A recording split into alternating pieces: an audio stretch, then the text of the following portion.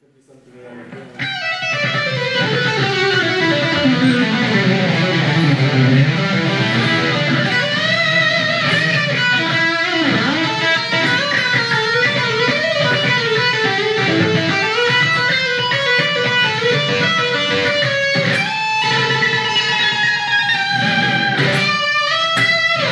So then you get around to the fretboard and you're combining uh, things with each other and uh, yeah, make more. And recently I started to, to practice tapping a little bit more, so then I combine it with some other licks.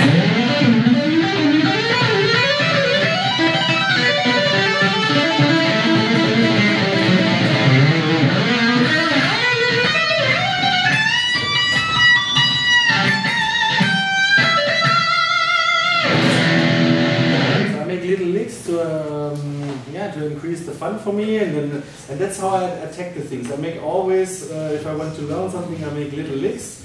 Uh, like then I started to uh, to look into tapping a little bit more, and I thought, okay, I did what I just did with the empty string. And then I thought I can combine it with my three note string um, scales that I'm learning.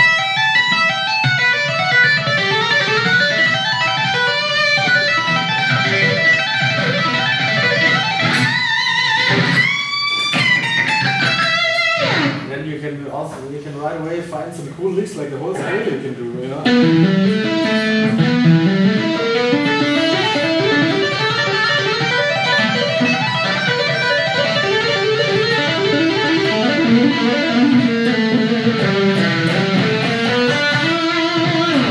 And yeah, I'm just making some licks for myself, or I try to, to practice some sweeping.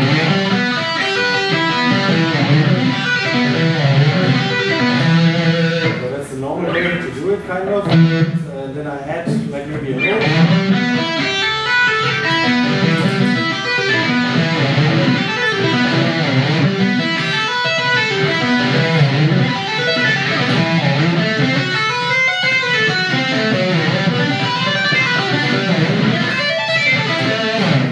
and then I make my like yeah little patterns. And there I found another one because I really get bummed down. It starts with the with the small finger here.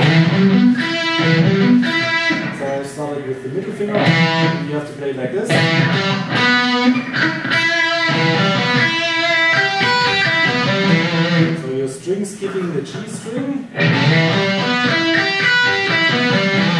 Also feels a little, un- little bit uncomfortable, so I had to add a note. Kind of cool.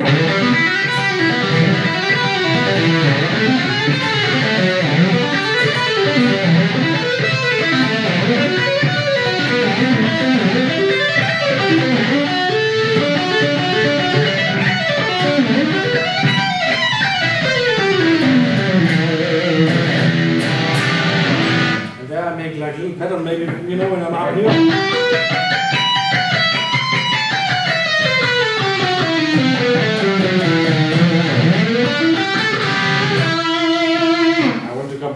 Here, so I make a little lick that, yeah, I'm just trying it out, and this is like a, harmonic uh, minor scale, so then you mix it up a little bit, and yeah, that's how I attack things, that means I practice something, and then I make something of my own, it's much more fun, and you can try, try it out on some playbacks, um, and yeah, that's, uh, that's uh, I think a good way to learn and have fun while you're learning, and it's not just something that you that is dragging you down and you think you have to learn all the scales, and then after that I can start playing. But you can do it right away, and then it's more fun, and then you have when you have fun doing it, you have much better results, I think. Okay, then. Uh,